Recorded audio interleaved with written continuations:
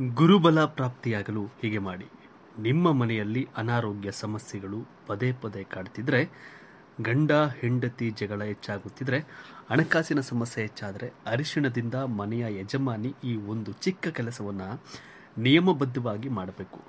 ಹಾಗಾದರೆ ಯಾವ ರೀತಿ, ಯಾವ ದಿನ ಮಾಡಿದರೆ ವಿಶೇಷವಾಗಿ ಲಕ್ಷ್ಮೀದೇವಿಯು ಮನೆಗೆ ಬಂದು ಶಾಶ್ವತವಾಗಿ ನೆಲೆಸುತ್ತಾಳೆ ಎಂದು ಇವತ್ತಿನ ಸಂಚಿಕೆಯಲ್ಲಿ ತಿಳಿದುಕೊಳ್ಳೋಣ.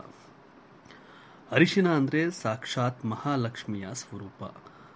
ಶಾಸ್ತ್ರಗಳಲ್ಲಿ ಅರಿಶಿನಕ್ಕೆ ಅದರದ್ದೇ ಆದ ಮಹತ್ವವಿದೆ. ನವಗ್ರಹಗಳಲ್ಲಿ ಗುರುವಿಗೆ ಅತ್ಯಂತ ಪ್ರಿಯವಾದದ್ದು. ಗುರುವಿನ ಅನುಗ್ರಹ ಪಡೆಯಬೇಕಾದರೆ ಹಾಗೂ ಗುರುಬಲ ಹೆಚ್ಚಾಗಬೇಕಾದರೆ ಅರಿಶಿನದಿಂದ ಈ ಒಂದು ಕೆಲಸವನ್ನು ಮಾಡಬೇಕು. ಮನುಷ್ಯರಿಗೆ ಗುರುಬಲವಿದ್ದರೆ ಮಾಡುವ ಕಾರ್ಯಗಳಲ್ಲಿ ಯಶಸ್ಸು ಕಾಣಲು ಸಾಧ್ಯವಾಗುತ್ತದೆ. ಹಾಗೂ ಕೀರ್ತಿ, ಪ್ರತಿಷ್ಠೆ ಗಳಿಸಲು ಸಾಧ್ಯವಾಗುತ್ತದೆ.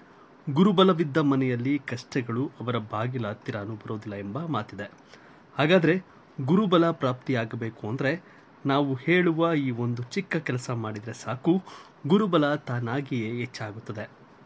ಹಾಗಾದರೆ ಆ ಕೆಲಸ ಯಾವುದು, ಹೇಗೆ ಮಾಡಬೇಕು ಎಂದು ತಿಳಿದುಕೊಳ್ಳೋಣ ಬನ್ನಿ. ಈ ಕೆಲಸವನ್ನು ಪ್ರತಿ ಗುರುವಾರದ ದಿನ ನೀವು ಮಾಡಬೇಕು. ಹೇಗೆಂದರೆ, ಮೊದಲು ಸ್ವಲ್ಪ ಅರಿಶಿನ ತೆಗೆದುಕೊಂಡು ನೀರಿನಿಂದ ಬೆರೆಸಿ ಹಣೆಗೆ ತಿಲಿಕವಾಗಿ ಪ್ರತಿ ಗುರುವಾರ ಇಡುತ್ತಾ ಬರಬೇಕು. ಈ ಕೆಲಸ ಮಾಡುವುದರಿಂದ ಲಕ್ಷ್ಮೀ ದೇವಿಯ ವಿಶೇಷವಾದ ಅನುಗ್ರಹದ ಜೊತೆಗೆ ಗುರುಬಲ ಹೆಚ್ಚಾಗುತ್ತಾ ಹೋಗುತ್ತದೆ.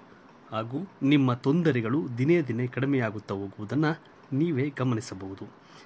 ಎರಡನೆಯದಾಗಿ, ಹುಣ್ಣಿಮೆಯ ದಿನ ಸಾಯಂಕಾಲ ಆರು ಗಂಟೆಯ ನಂತರ ಅರಿಶಿನ ಹಾಗೂ ತುಪ್ಪವನ್ನು ಬೆರೆಸಿ ಮನೆಯ ಬಾಗಿಲಿನ ಮೇಲೆ ಈ ಒಂದು ಕೆಲಸವನ್ನು ಮಾಡಬೇಕು. ಅದೇನೆಂದರೆ ಬಾಗಿಲಿನ ಮೇಲೆ ಮೂರು ಚಿಕ್ಕದಾದ ಸ್ವಸ್ತಿಕ್ ಚಿಹ್ನೆಯನ್ನು ಬಿಡಿಸಬೇಕು. ಬಿಡಿಸಿದ ನಂತರ ಮನೆಯಲ್ಲಿ ದೀಪಾರಾಧನೆ ಮಾಡಬೇಕು. ಹೀಗೆ ಪ್ರತಿ ಹುಣ್ಣಿಮೆಯ ದಿನ ಸಂಜೆ ಆರು ಗಂಟೆಯ ನಂತರ ಈ ರೀತಿ ಯಾರು ಮಾಡುತ್ತಾ ಬರ್ತಾರೋ ಅವನ ಮನೆಗೆ ನಕಾರಾತ್ಮಕ ಶಕ್ತಿಗಳು ಒಳಗಡೆ ಪ್ರವೇಶ ಮಾಡೋದಿಲ್ಲ.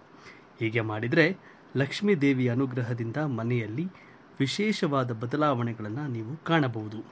ಹಾಗೂ ಮನೆಯ ಯಜಮಾನ ಮಾಡುವ ಎಲ್ಲ ಕೆಲಸಗಳು ಸಫಲವಾಗಿ ಕೂಡಿಬರುತ್ತವೆ. ಈ ಎರಡೂ ಕೆಲಸದ ಜೊತೆಗೆ ಮತ್ತೊಂದು ವಿಶೇಷವಾದ ಅರಿಶಿನದ ತಂತ್ರವನ್ನು ಮಾಡಬೇಕು.